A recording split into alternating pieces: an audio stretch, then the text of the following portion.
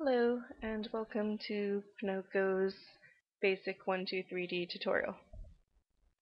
First off, open up 123D and we're just going to make a very basic pendant or keychain. Um, I'm going to do a heart shape, but of course you can do any shape you'd like. First go to the top view in the upper right hand corner viewing box and then also make sure in the lower right hand corner um, it has a little measuring tool. If it is not on, just go into the top left hand corner options and make sure under controls your snap bar is on and your sketch grid. Those are both fairly important for just kind of getting a feel of how big your model is and just um, helpful in general.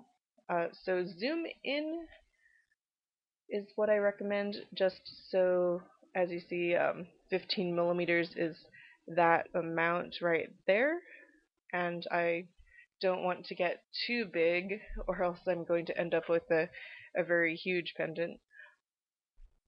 Okay, so right now 14 millimeters and I think I'm going to go a little farther into like about 10 millimeters so I can gauge um, the size of my model. I'm going to attempt about 2 centimeters, uh, which is 20 millimeters long. Okay, so go to the top toolbar, spline, and I have moved over my main menu, so just go over to this little hand, center it, and then click back on the canvas. Okay, and for my first point, I'm just going to put it in the middle.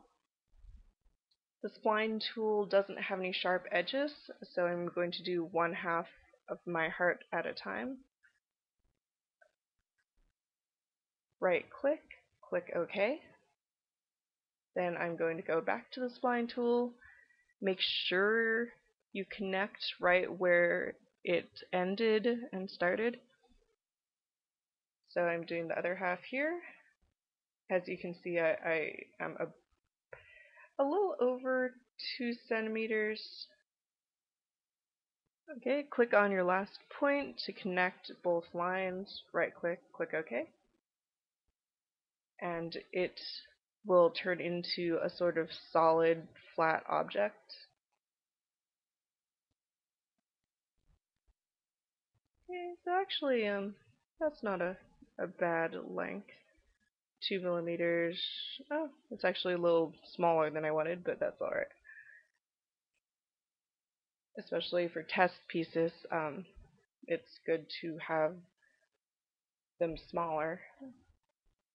Okay, go to your home tab right above the viewing cube and it gives you a perspective view and we are going to go to the top toolbar, create, extrude, and then you click on your main part in this case. Um, I'm going to set this as 3 millimeters because I want it printable in stainless steel. And then I'm going to right click OK. Right, and now that it's a solid 3D object, I'm going to put a hole through it for your keychain ring or a cord to put through it. So I'm going to go to primitives and cylinder. Okay, and it 123D is a pretty smart program. It knows where um, more or less where you want to go and what you want to be doing. So it knows I want to draw this cylinder on the heart. So I'm going to pick a point that's not too close to the edge, but not too far away either. And I'm going to have it, uh, I'd say 1.3 radius, just so it's about 3 millimeters in diameter, just uh, is a good overall size to be able to fit things through. Okay, and left click, and then it will give you oh, if it doesn't give you the arrow, it will just automatically pull it all the way through. If you look at it in the wireframe view, you have another piece of geometry inside, but it hasn't cut it out yet. So I'm going to go back to shaded view and we are going to combine those so that it makes a whole. I'm going to go to the top toolbar again, create, combine. I'm going to select the heart. Oh, and at some point also go down here to the little drop down menu and make sure it's set to cut And now that I've selected the heart, if it's selected it will be in blue, it will have this um, little arrow in red. Um, the second, pretty much this is the first piece, and then right here is the second piece to choose. So I'm going to click on that, and then click on my second piece. And then right click, and click OK. So here is a pendant. And technically you can have this printed as is in any shape that you draw. But for now I'm also going to make streamline it a little bit, um, make it look a little bit more professional by rounding the edges.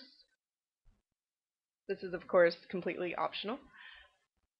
I'm going to go to create fillet and I'm going to hold down the shift key and choose every edge that I want to round out. I'm also going to choose the bottom just, you know, so it's not pokey when you have it in your pocket or around your neck. So for the radius, um, I'm going to say 0.5, especially because it's a small piece, and it will show you a preview of what it will look like. So if it looks good, right click, press OK. And you can go to sketches and turn off that initial sketch right there just to get a better viewing. And you can look at it in wireframe. Looks pretty awesome in wireframe. And realistic view. And also if you want um, you know, just some basic effects, you can have a floor reflection which is, you know, pretty much like if we were sitting on a mirror. Alright, and now it's ready to go. Just upload it to your Ponoko account and get it print. Thank you.